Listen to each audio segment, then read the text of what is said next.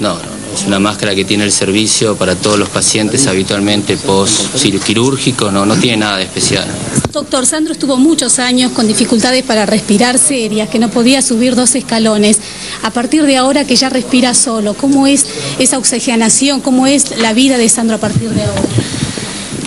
Una vez más, me estás haciendo poner en futurología, que es muy difícil decirlo. Uno cuando trasplanta un paciente, no a este paciente, a cualquier paciente lo que trata de hacer es sacar una enfermedad terminal para que vuelva a tener una calidad de vida digna o, o buena.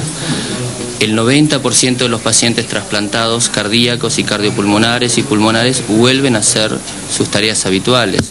Entonces, este paciente es un paciente con patología terminal y lo que uno trata de hacer es volverlo a una situación clínica lo mejor que se pueda. Hasta dónde puede llegar o cuál es el objeto, no, no, no lo sé, pero el, la razón del trasplante básicamente es que tenía una patología terminal, tenía indicación clara de trasplante, no tenía contraindicación para el mismo, y bueno, se logró este objetivo y ahora todo es sumar. Hasta dónde llegue es difícil decirlo. ¿Se le enseña a respirar a una persona que tiene este tipo de, de trasplantes? Nuevamente hay que hacer ejercicio, se lleva tiempo, doctor.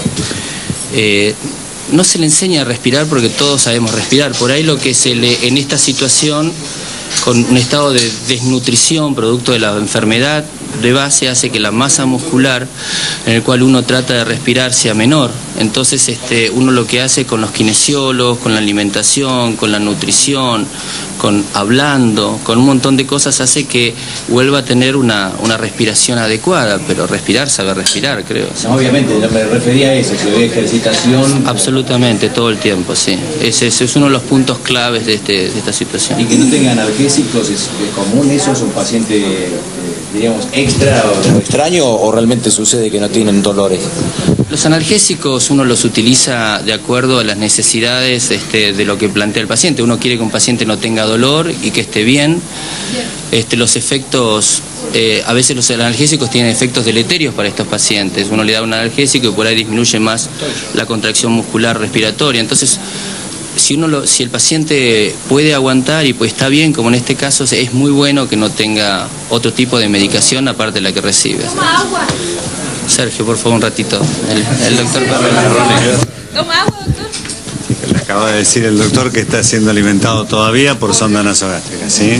Ahora, imagínense la, la, eh, fuerza y las ganas que ponen las chicas de afuera. Eh, ¿Qué se le puede decir a las nenas que están ahí como para un mensaje clarito, eh, llano, simple? Clarito y sencillo, que vamos bien, que la cosa va bien, que está dentro de los parámetros preestablecidos y que realmente la evolución es satisfactoria, ¿sí? Lo sorprende a ustedes también. A ver, no sé si entiende de que se ha marcado, yo creo que lo he dicho hace ya unos días, hemos marcado un camino que venimos analizando desde hace bastante tiempo. No se ha salido ni para un lado ni para el otro, ni para el malo ni para el excesivamente bueno. Está dentro de los parámetros de las cosas que hemos programado y esperado. ¿Ha podido descansar, Sandro? ¿Ha dormido en la noche? Eh, cuando lo podemos dejar descansar, eh, sí. Eh, tratamos de que descanse para poder tenerlo con ánimo y con ganas de trabajar, porque necesitamos que él trabaje y colabore con todos nosotros. Ah, ¿Ha hablado con la esposa de, de Sandra? Está en estos momentos con la esposa de él. Ajá, y digo, porque se había corrido el rumor que este martes iba a hablar con los medios. ¿Tiene algo usted al Creo que respecto? mañana a las 11.30 ella va a charlar con los medios. En este lugar. Eh, eh, no sé decirle dónde, lo charlaremos después con el director, seguramente les dará el lugar donde dará la charla. En la previa diríamos al parte médico del miércoles. Sí. ¿Nadie más lo ha visitado? Eh, los hijos de Olga y nadie más. Pero no hoy. El- los hijos de Olga tuvieron que viajar a Buenos Aires por unas cosas, pero han estado en compañía de ella, sobre todo en las primeras horas. En la, en la, en la habitación. Está en una sala de cuidados intensivos, no sé si conoce una sala de cuidados intensivos. No, no conozco. Tratamos de que la gente, los televisores son de otro tipo ahí. Y la pregunta es, bueno, por ahí media obvia. Eh, si se le acerca a un celular, ¿en cuántas horas podría ir a hablar? Eh, Claro, porque... a mí ya no la pasamos hablando nosotros por celular, no creo que él no hable por unos días, ¿eh? y sobre todo con ustedes, porque son no, bastante... no, pero por ahí aparece. digo. Bastante insistentes, no, no, no, todavía no. Lo primero que hablar con la familia, seguramente. Está escribiendo ya hace unos días. ¿Qué otras cosas? ¿Eh? Queremos saber qué escribe. Pues solicita las cosas que necesita. ¿Le sigue haciendo señas? ¿Eh? Sigue haciendo siendo y sigue haciendo chistes. ¿Hubo agradecimiento con ustedes?